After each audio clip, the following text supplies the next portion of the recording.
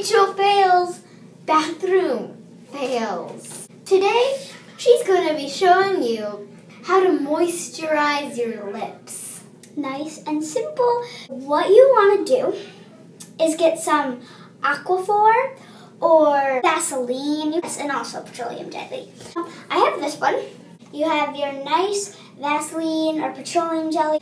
And you're going to want to apply it to your lips. Squeeze them out so that's just going over the top, dabbing like little dots. Well, this really stings. And then if you want an extra kick, you can lick it to make it spread around. What is this? It's so minty. It's so spicy. Feels better now. what is this? Ugh. Crest toothpaste. But then the one time that I want to videotape it, I have to do it wrong. Park out. Peace out. Bye, y'all.